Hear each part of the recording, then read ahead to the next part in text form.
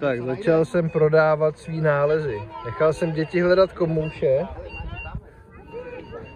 Aha, můžu si tady koupit za 5,60 ocelák, za 4,50 odznak, za 2,70 lízo, za korunu 70 pendrek a jednu tu sušenku za 3,20. Došlo to i na mě. Prodávám svý nálezy.